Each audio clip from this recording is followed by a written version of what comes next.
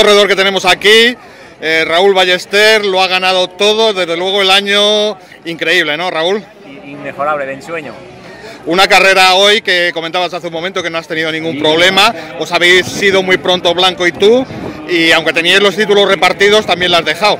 Sí, porque he intentado que me hicieran relevo, me he dicho que, que estaba muy justo y digo, pues voy a apretar a, no me lo juego. Y me he ido un trocito, ya sin, fallos, sin fallos, carrera perfecta. bueno, me imagino que entonces que muy contento de cómo te ha salido el año. Contentísimo.